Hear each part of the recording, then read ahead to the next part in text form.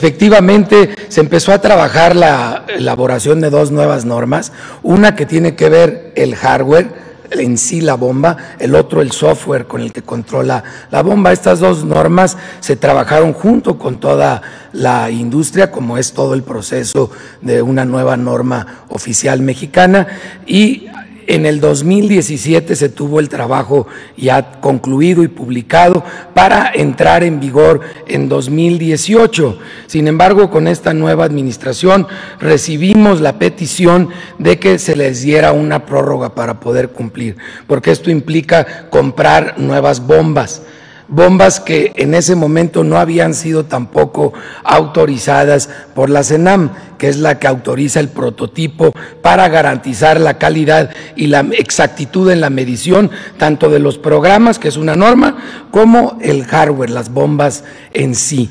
Esto ya se logró desde octubre del año pasado y la prórroga concluye el próximo mes de octubre.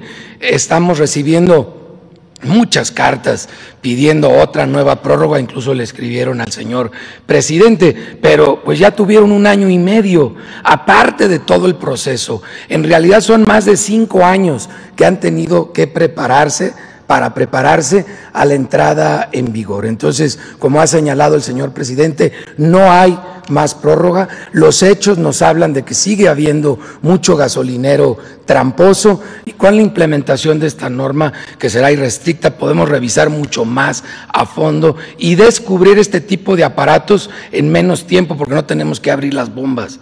Con la misma norma de software podemos darnos cuenta de las irregularidades, por eso le tienen miedo. Los socios de Onexpo ya llevan un avance de más del 35% en la aplicación de la nueva norma y algunos grupos gasolineros como Oxogas están a días de estar al 100%. Entonces no hay motivos para que haya una nueva prórroga. Lo que sí hay, lo vieron hoy, claros motivos para la implementación de esta norma que ya lleva cinco años en el horno.